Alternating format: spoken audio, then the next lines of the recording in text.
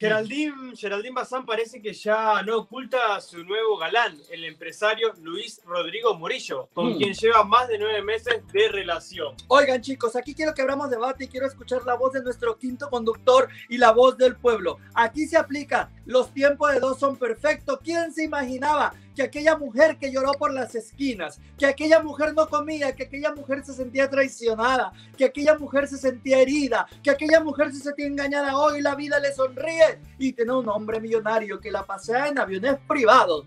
que le da su lugar, que le hace prestigiosos regalos, que le celebra, ya quisiera Yolanda que le celebraran un día así su cumpleaños. Yo siempre he tenido que, aunque nuestro señor productor gastó allá en casa, güey, ¿se acuerdan, chicos? Yo justo, Claro. Yolanda, no digas, porque te van a salir aquí, te va a salir ya sabes quién, y te van a decir todo lo que has gastado con Oye, pero yo necesito un novio o yo necesito un hombre que me lleve en avión privado, que me regale esas rosas tan carísimas. Como señorita directora, póngame la fotografía. Miren, chicos, vean estos regalos, vean este avión, vean estas flores. Miren, el tipo está galán. El tipo no tendrá el, ¿cómo se dice? El camello de Gabriel Soto, pero dicen que allá hay cash. Allá hay cash, muchachos. Yo no sé qué piensan ustedes, pero escuchen muy bien la información. Ahí va ella en el avión privado del hombre. Qué padre. Pero ¿cuál es la información, señor productor? Suéltese como hilo de media. Claro que sí, eh, Geraldine Bazán en Cancún junto a sus dos hijas y su novio, el empresario Luis Rodrigo Murillo, con quien ya lleva más de nueve meses de relación y la actriz ya no lo ocultó más.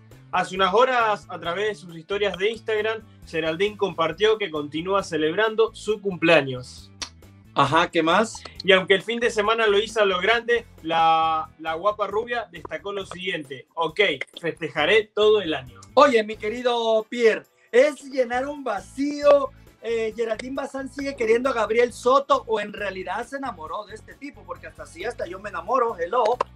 Pues la verdad es que, pues amor sí puede ser que se le comience a dar, pero ella, como dicen, es un corazón partido entre dos tiros, ¿no? Entonces aquí mira el cash, mira que pues es el tipo así, como dicen, la atracción, todo puede andar y pues de momento ella como lo, como lo está viviendo, ¿no? Está entrando en una nueva etapa y yo siento de que por ahí están viendo los tiros, entonces ella está, ahora sí ya lo está haciendo público, poco a poco va a ir dando y pues a lo mejor con el tiempo sí acaba de olvidar a Gabriel Soto.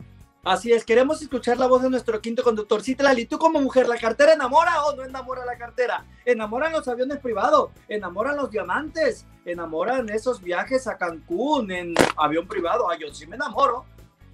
Pues dicen por ahí que es mejor llorar en Dubai que llorar en tu, en tu carro en la Walmart, ¿no?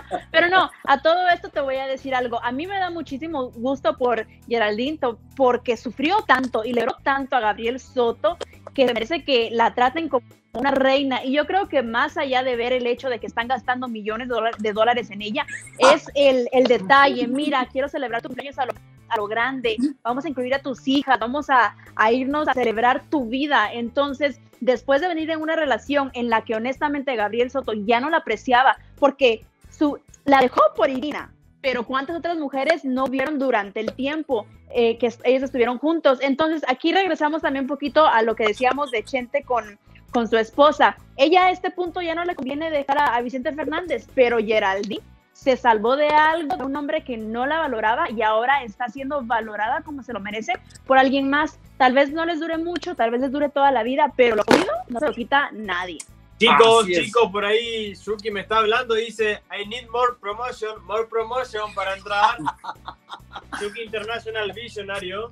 No. Millonario.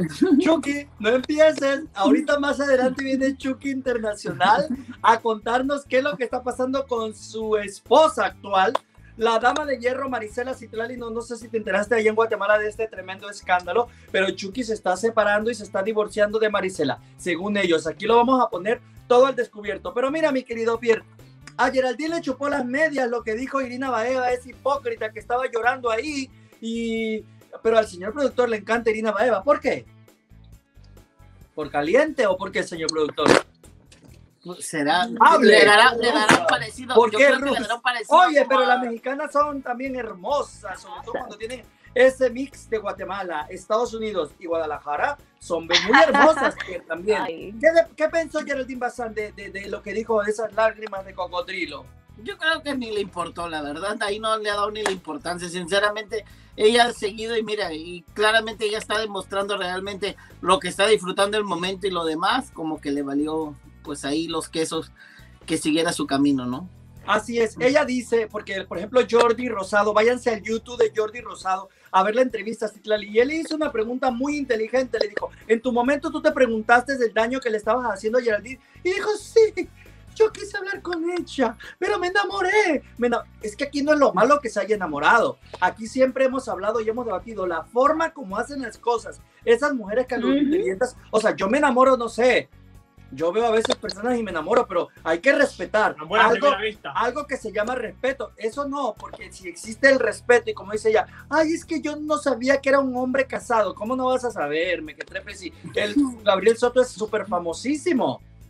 Te juro que ahí fue donde, donde falló Irina, porque tuvo la oportunidad honestamente de limpiarse muy bien, pero simplemente se embarró más porque decir, no sabía que estaba casado, mi vida todos sabíamos que estaba casado, salen en los medios con problemas cada rato, este, luego decir, oh, es que yo quería hablar con ella, ¿para qué?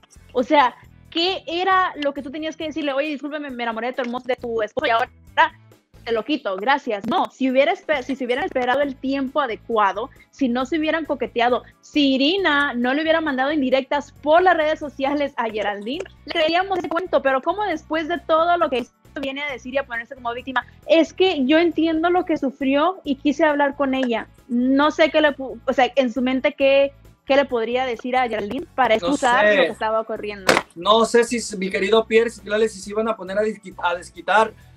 por ahí hay varios comentarios de, las personas. Por ejemplo, Mayra dice, ¿querés hablar? Sí, nada más quería decir que si se iban a poner a comadrear, ay, fíjate que el camello se mueve así y yo me subo así en el camello y el camello es así y el camello cabeza. Te recomiendo esto si iban a hablar de camello o le iba, le iba a enseñar a Irina Baeva cómo bajarse al agua y cómo atragantarse con ese camello. Ah, yo no sé, pueblo, vamos, señor productor, suéltese como hilo de media. Cuidado, Macheli. Chorizo argentino, vamos. Por ahí dice, me da gusto por que ya sea feliz. Y hay unos, unos comentarios para ti, Ángel, con respecto a lo que dijiste. Dicen, Mayra Meraz, le va a salir novio rico a Ángel. Ojalá. Y Solanda ya empeñó el anillo. Eh, oh, estoy harto de besar sapos, y Pierre. Estoy harto de besar sapos. Necesito un príncipe ya. Belma, te dice, venga Yolanda, para acá en New York y le celebramos su cumpleaños. Pero de verdad, no me den coco No me den coco Yo voy yo voy, vamos. a hacer el programa desde allá. Chicos, vámonos a New York a hacer el programa porque tenemos que ir cuando pongamos nuestro espectacular en, Times Square. Ya lo estoy negociando. Conmigo no se metan. ahí van. Nos tomamos la foto allá. Pero mi querido Pierre, ¿será feliz? ¿No será feliz? ¿Qué va a pasar con Geraldine? Yo la verdad le deseo todo lo mejor. Está súper guapísima, se ve radiante y la verdad que dicen que no hay mal que por bien no venga. Pues la verdad es que yo pienso de que sí, o sea, Geraldine se está dando una gran oportunidad y esperemos de que ahora sí le salgan bien las cosas, porque ya como bien decimos, ya sufrió, ya pasó el tema, ya, o sea, ya, ya sufrió una infidelidad, entonces esperemos de que esta oportunidad que se está dando y claramente la está, porque la siento que no está tampoco tan así al 100% segura, pero pues esperemos de que ya agarre la confianza y pues todo salga de la mejor forma, ¿no? Así es, ojalá que sí, la verdad chicos, pero...